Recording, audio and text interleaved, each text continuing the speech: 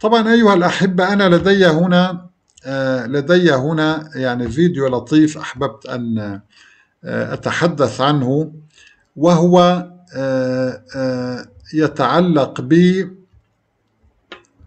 بالأمواج العميقة.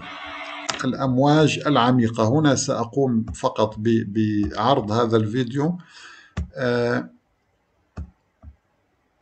الأمواج العميقة التي اكتشفت حديثا. هذه الأمواج حقيقة يعني مذهلة.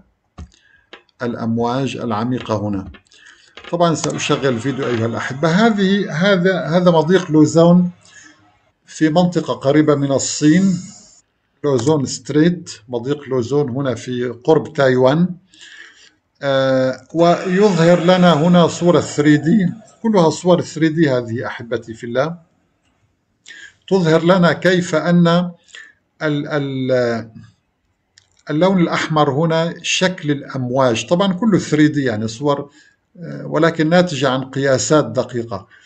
أمواج عميقة جدا انظروا ترتفع لأكثر من 500 متر. ارتفاع الموجة بحدود 500 متر.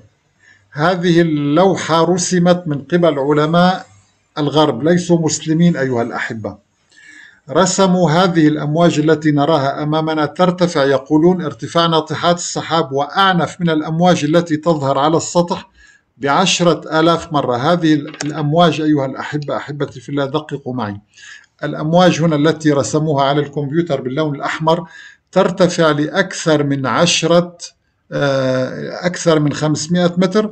وقوة هذه الأمواج قوة الدفع لهذه الأمواج أكثر بعشرة آلاف مرة من الأمواج السطحية. لذلك يفكر العلماء اليوم باستغلال طاقة الأمواج العميقة. طاقة هذه الأمواج لأنها تولد طاقة ربما تكون أهم من الطاقة الشمسية وأهم من طاقة النفط طاقة الأمواج العميقة. مدمرة بالفعل. التسونامي ينشأ من أعماق المحيط على فكرة. طاقة التسونامي مدمرة. لو تم استغلال طاقة الأمواج العميقة لحصلنا على كميات هائلة من الطاقة المجانية والرخيصة والآمنة والتي لا تلوث البيئة ومجانا.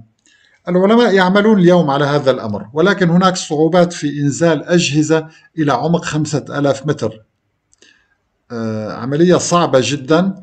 ربما يعني آه، في المستقبل يتم حلها. الآن أيها الأحبة آه، أنا لدي هنا آية يعني سأعود معكم إلى برنامج إحصاء القرآن. طبعا أحب دائما أن أستعرض الآيات لكي نتأمل نتدبر النظر للقرآن. عبادة أحبتي في الله أنت عندما تنظر في كلام الله سبحانه وتعالى هنا أنا لدي كلمة كلمة لجي لجي.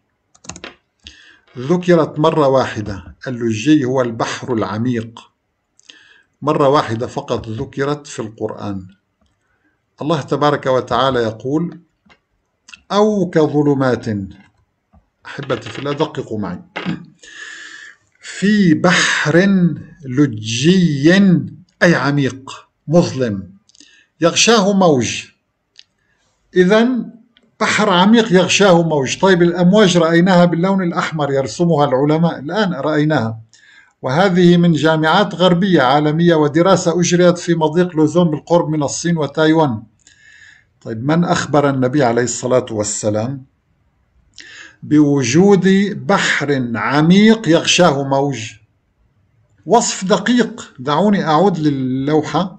أعرضها أمامكم فقط لكي نقارن ونتأمل ونتدبر كلام الخالق عز وجل وكلام وأن هذا النبي لا ينطق عن الهوى. انظروا أيها الأحبة هنا هنا هنا رجاء دققوا هذه الأمواج في البحر اللجي بحر عميق. انظروا كيف يرسمون هذا البحر. وهذه هذه هي الأمواج. انظروا انظروا كم ترتفع. 500 متر. هنا هنا أيها الأحبة. هذه ارتفاع الموجة 500 متر. هنا طبعا عندما ننظر من الأعلى نرى هذه الدوائر. هذه الدوائر هي إشارات لوجود هذه الأمواج العميقة. عندما ننزل إلى أسفل بالغواصات إلى أسفل المحيط إلى آلاف الأمتار نرى أمامنا انظروا بحر لجي يغشاه موج. بحر لجي يغشاه موج. طيب هذا الموج يعني اليوم نحن نحن اليوم نرى هذا لا نستغرب. طيب كيف ورد ذكره في القرآن العظيم والنبي لم يركب البحر ولا مرة في حياته؟ بالله عليكم يعني أنا أتساءل. بالنسبة لأولئك الذين لا يقتنعون بالإعجاز العلمي كيف يحدث هذا؟ إذا انظروا أحبتي عندما وضعنا هذه الصورة ورأينا البحر اللجي العميق ورأينا الموج الذي يغشى هنا هنا هذه مرسومة باللون الأحمر هنا. حدود الموجة انظروا هنا. حدود الموجة هذه باللون الأحمر. هنا أحبتي في الله هذه حدود الموج. هنا البحر اللجي هنا في الأسفل. يغشاه موج يغشاه موج. هذا هو الموج. ثم يقول لك طبعا سنعرض الآية من جديد لكي نقارن بين ما نراه في ال ال ال الكون وما نراه في القرآن. تطابق تطابق كامل. هنا الله تعالى يقول أو كظلمات في بحر لجي يغشاه موج. طيب من فوقه موج. إذا هناك موج في الأسفل ومن فوقه موج من فوقه سحاب. إذا هناك أمواج عميقة ثم أمواج سطحية ثم السحاب. ظلمات بعضها فوق بعض إذا أخرج يده لم يكد يراها. ومن لم يجعل الله له نورا فما له من نور.